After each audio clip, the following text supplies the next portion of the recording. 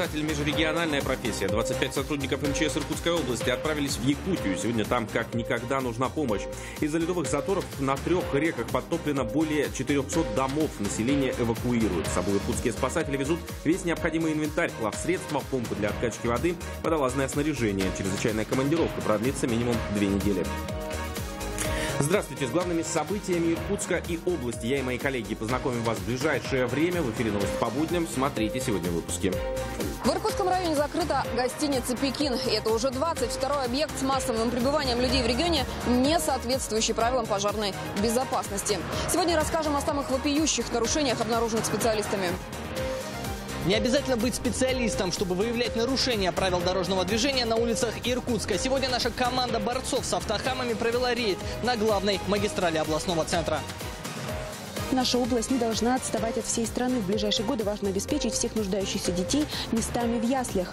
Как решают эту задачу, Алена Половенко выяснила на примере Иркутска. По дорогам Иркутской области передвигается особенный путешественник. В качестве транспортного средства он выбрал самодельный дом на колесах. Остальные подробности ждут вас в финале выпуска.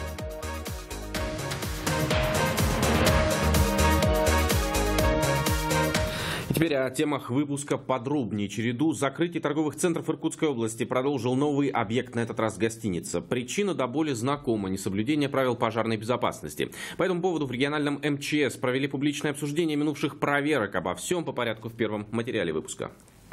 Пустые парковочные места перед гостиницей «Пекин» в Иркутском районе наблюдаются нечасто. Сегодня они есть, потому что отель закрыт. Гости расселены. Это решение районного суда. Он признал здание несоответствующим нормам пожарной безопасности. Собственник подчинился закону не сразу. Ши Шуньчжэнь э, является полным собственником здания и сдает часть территории э, уже юридическому лицу, вот этому центру отдыха «Пекин». Ну, в принципе, центр отдыха «Пекин» без проблем услышали, поняли и предприняли все необходимые меры для исполнения решения суда. Но, к сожалению, с э, Шишундженем возникли некоторые проблемы, в связи с чем э, в отношении данного лица будет составлен э, постановление по делу административного правонарушения. Нарушение в Пекине лишь дополнение к солидному списку фактов пожарной небезопасности в регионе. Таких с начала года только сотрудники МЧС зафиксировали 1210. От отсутствия огнетушителей до незаконной реконструкции зданий. Последнее чаще встречается в торгово-развлекательных центрах. Там же были странные мелочи. Например, замотанные в полиэтилен извещатели пожарных сигнализаций. Их берегли во время ремонта. Или отключенный звук сирены, чтобы не мешал во время ложных сработок. В итоге 9 объектов через суд закрыли. Еще 12 были ограничены в работе до устранения причин. Сроки открытия никто не называет. Все зависит от расторопности собственников. Выносится предписания, ставятся сроки, эти сроки начинаются контролироваться, и уже по данным срокам уже будем дальше проводить э, э, проверки уже по ним. Если, значит, э, предписания наши выполняться не будут, значит, мы будем готовить документы в прокуратуру именно на приостановку объектов, на проведение обеспечительных каких-то мер. Обеспечить пожарную безопасность не так-то просто. Некоторым предпринимателям навязывают свои услуги сомнительные фирмы. Они возят с собой все, что нужно для прохождения противопожарной проверки, а потом исчезают. В результате таких действий соискателей лицензий и фирм-посредников, которые временно предоставляют свое оборудование и работников, процент лицензиатов, которые реально могут выполнить заявленную лицензию работы и услуги, составляет менее 10%. Поэтому руководителям организации советую тщательно подходить к вопросу выбора обслуживающей организации. Организовывать общественное обсуждение проблем в региональном МЧС теперь намерены ежеквартально. Возможно, такая форма работы позволит быстрее привести в порядок места массового пребывания людей, чтобы население смогло чувствовать себя в безопасности. Влад Рыбакова, Андрей Назаров. Новости по будням. Небезопасная скорость могла стать причиной гибели двух человек в результате аварии на Качукском тракте. ДТП произошло поздно вечером недалеко от села Хамутова. Столкнулись КАМАЗ и иномарка. Удар был не лобовым, обе машины находились на одной и той же полосе движения. Причем, по предварительным выводам сотрудников ГИБДД, грузовик и вовсе не двигался. Это обстоятельство подтверждает и водитель КАМАЗа. Почему человек за рулем японского микроавтобуса не заметил препятствия, еще предстоит выяснить. К слову, освещения на этом участке тракта нет. В настоящее время полицейские ищут свидетелей аварии и записи видеорегистраторов. Они помогут установить степень вины участников ДТП. Но жизни двух людей это уже не вернет. На месте ДТП скончался водитель автомобиля Honda Step вагон 84 года рождения. И трое пассажиров были госпитализированы в медицинское учреждение. Впоследствии один из них скончался. По данному факту сотрудниками госавтоинспекции проводится проверка. После проведения всех необходимых экспертиз будет устанавливаться степень виновности. Крупные аварии могут произойти не только на загородных трассах, но и в центре оживленных городов. Ведь количество машин на магистралях неизбежно влияет на число нарушений правил дорожного движения. Статистические исследования данного вопроса в рамках рубрики «Автохам» представим вам прямо сейчас. Больше трафик, больше нарушений. Сегодня наша доблестная команда по поимке автохамов попытается выяснить, действительно ли на улицах с более плотным движением люди чаще пренебрегают правилами дорожного движения. Проверять мы все это будем на одной из главных магистралей областного центра – улице Ленина.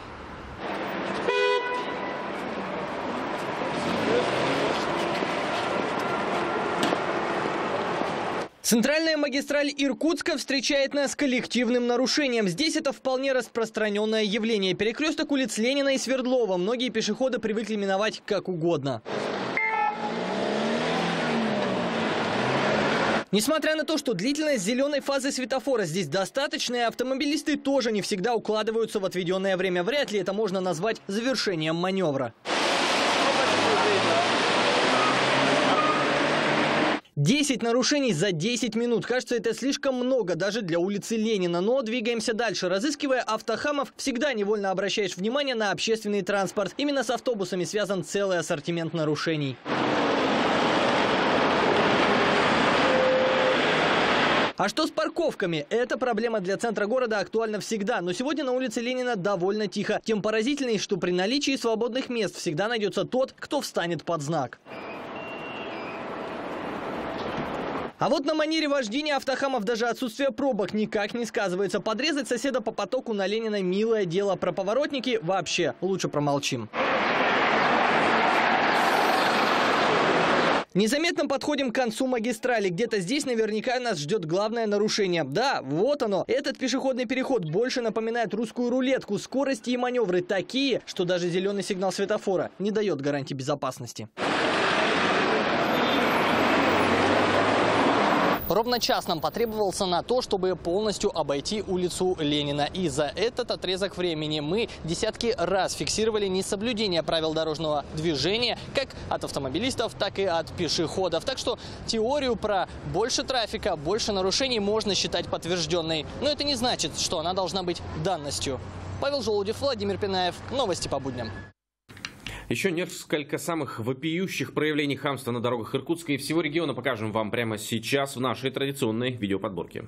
Поспешишь, в подборку нарушений попадешь. Водитель этого такси не догадывается, что его маневры на одном из перекрестков Иркутска фиксирует камера. Как вам такой поворот налево со встречной полосы? Не понравился он и соседям по потоку, которые так и не пропустили автохама. Порой вечно опаздывающие автомобилисты готовы пожертвовать своим авто, лишь бы выиграть время. Обладатель серого джипа так спешил, что даже после того, как притерся к припаркованному грузовичку, продолжил движение. И это несмотря на то, что он потерял боковое зеркало. Водители иркутских автобусов вообще, похоже, самые спешащие люди на свете. Вот отличный пример. Объехать пробку автохам решается прямо по обочине. Остается лишь гадать, как пассажиры восприняли такую дерзость своего рулевого. Если и вы стали свидетелями хамства на дорогах Иркутской области, присылайте нам свои видео.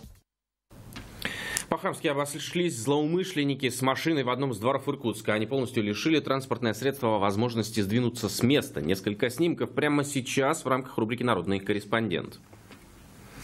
Все как в грустном стежке. Уронили мешку на пол, оторвали мишки лапу. Только здесь не одну, а все четыре.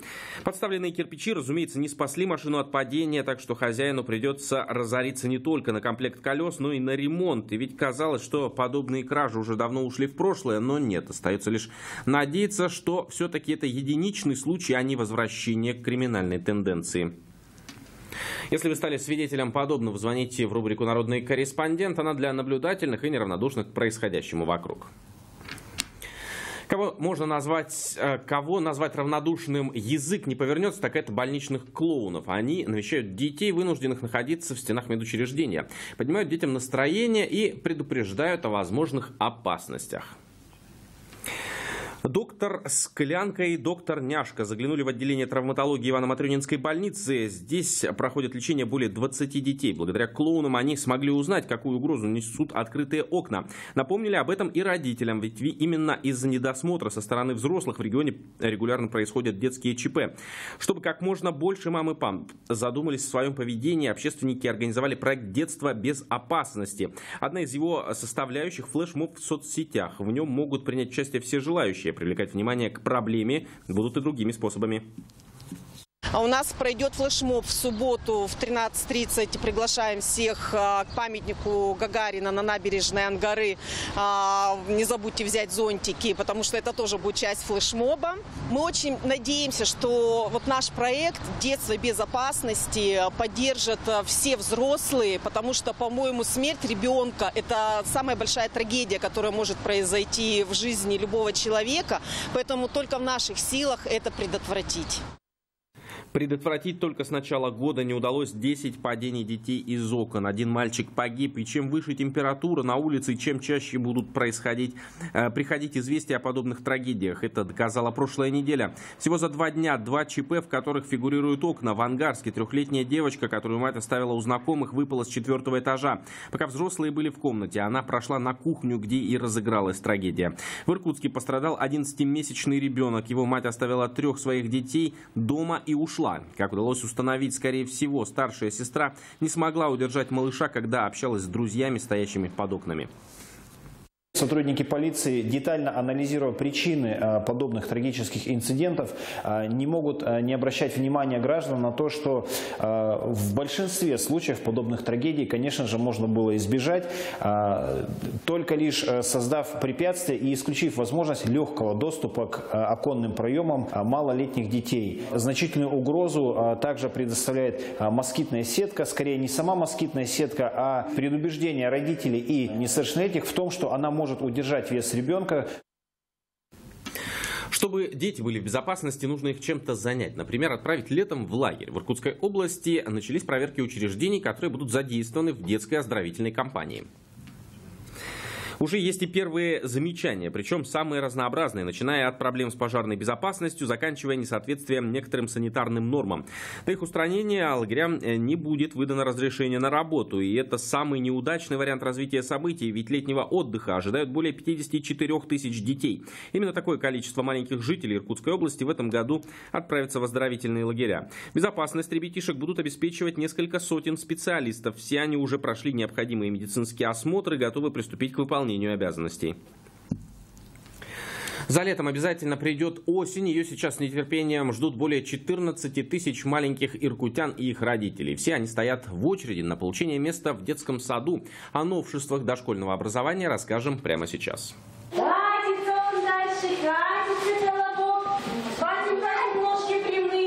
Даже занятия физкультурой у этих малышей проходят в форме игры. Программу специально подготовили для их возраста. Те, кто сейчас активно отзываются на просьбы работников садика, только в сентябре 2017-го переступили его порог, когда в этом дошкольном учреждении впервые стали принимать ребят с полутора лет. Сейчас в группе 25 малышей, но могло бы быть и 29, если бы нашли желающие. Для новобранцев, многие из которых даже говорить толком не умели, пришлось кое-что изменить. Помещение это было у нас по той причине, что здесь каждый год мы принимали детей с двух лет. А единственное, что мы поменяли мебель. Э, мебель вот такая маленькие, столы, стульчики. Э, но они вот все регулируются, потому что потихонечку дети же растут. Посуду мы такую, для, как для маленьких ребят купили, игрушки. Перемены большие и маленькие ждут все дошкольное образование. Президент страны поручил сделать так, чтобы к 2021 году абсолютно все желающие могли устроить своего ребенка в ясли. Пока сделать это проблематично. В Иркутске на сегодняшний день актуальная очередь в садике. 14 тысяч человек. Это дети до 7 лет, родители которых хотели бы отдать их в дошкольное учреждение уже 1 сентября 2018 года. Есть в Иркутске родители, которые в силу разных обстоятельств, в основном это необходимость выйти на работу, не могут проводить со своим малышом время на площадке, а вынуждены отдать его в садик еще до наступления года. И стоит отметить, что такой опыт в областном центре есть. В садике на станции Батарейная там уже давно принимали детей с 10 месяцев. Расширять возрастные границы придется многим детским садам. Если раньше там брали только двухлеток, теперь должны будут принимать и годовалых малышей. При этом в Иркутске ситуация не самая плачевная. Сейчас более 70% дошкольных дошкольных учреждений города имеют так называемые группы для детей раннего возраста. Упор также делают на садики, которые только строят. В новых дошкольных учреждениях, которые будут вводиться после строительства новых зданий, капитального ремонта, пристроев, будут открываться такие группы для детей от года до двух. Работа ведется с педагогическим колледжем по привлечению выпускников, с педагогическим институтом. Они приходили всегда, но увеличение количества людей, оно вот за последние два года. Если желание выпускников работать не пройдет, а строительство объектов будет идти по графику, в Иркутске надеются полностью решить проблему в обозначенные президентом сроки. И, возможно, нас ждет поколение детей, которые никогда не стояли в очередях, даже за место в садике. Алена Полоненко, Виктор Черкашин. Новости по будням.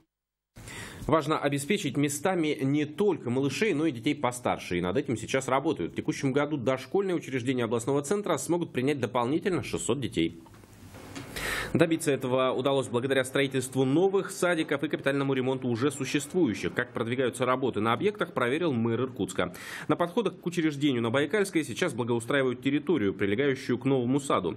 Внутри самого здания, рассчитанного на 110 мест, уже завершены работы. В этом году в городе начнут строительство и продолжат возведение еще пяти дошкольных учреждений. Что же касается капитального ремонта, он подходит к концу в двух садах в Свердловском округе. Мы вышли на этап завершающий, уже э, все материалы закуплены у подрядчика. Э, людей достаточно. Сейчас уже самое главное темпы работы не снижать. Э, погода благоприятствует. Так что я думаю, все у нас должно идти по плану, тому, который мы сейчас наметили. Узнали, сколько снежных барсов обитает у нас в стране, и в частности на хребте Восточной Саяны. А, сотрудники Всемирного фонда дикой природы опубликовали результаты своих исследований. На данный момент численность животных стабильна. Ежегодно в объектив фотоловушек попадает более 60 снежных барсов. Ну а о других интересных новостях расскажет Юлия Горзова. Всем здравствуйте! Мир вокруг нас наполнен разнообразными звуками, но порой мы их не замечаем. Однако они сопровождают нас повсюду. Дома, на работе, на улице, на отдыхе. Сегодня как раз поговорим о звуках. У Байкальска появится официальный гимн. На сегодняшний день его роль исполняет песня «Байкал-Байкал, волной изумрудной». Композиции уже около 20 лет, однако пока она все еще не согласована на высшем уровне. Сначала гимн должна одобрить местная дума, потом Геральдический совет при президенте. Возможно, осенью этот процесс завершится и Байкальск получит официальный гимн. Получит заряд позитива иркутяне 27 мая. Именно тогда состоится уже традиционный праздник, главными звуками которого станут вот эти. Любимый и невероятно воздушный день мыльных пузырей проведут в одиннадцатый раз. Как всегда, гостей ждут на площади у памятника Александру Третьему. В этом году организаторы приготовили огромное количество конкурсов и сюрпризов, среди которых яркие музыканты и артисты, которые станут зажигалками этого дня. Стал главным открытием года, без сомнения, Крымский мост. Накануне состоялась торжественная презентация. Теперь строительный шум сменится шелестом автобусных и автомобильных шин по асфальту, а потом и постукиванием колес по рельсам. А еще, проезжая по мосту, туристы смогут слышать главный хит стройки. Вот этот. А все потому, что строители объекта создали памятку с десятком советов для тех, кто поедет в Крым по мосту. И среди них есть как раз пункт насчет этой песни. А теперь перенесемся в далекое Сан-Диего. Там местные жители и туристы не только наслаждаются шумом волн, но и любуются ими. Ведь прибрежные воды стали неоново-голубыми. Творцы этой красоты – водоросли на чесветке. Численность биолюминесцентного фитопланктона возросла настолько, что волны засветились. Выглядит ну просто фантастически. Пусть в вашей жизни будет побольше фантастических событий. До встречи! Не фантастические, но оттого не менее серьезные испытания приходится преодолевать тем, кто участвует в конкурсах красоты. Причем их количество и форматы с каждым годом становятся все разнообразнее. Например, в Иркутске выбрали самую красивую маму и жену.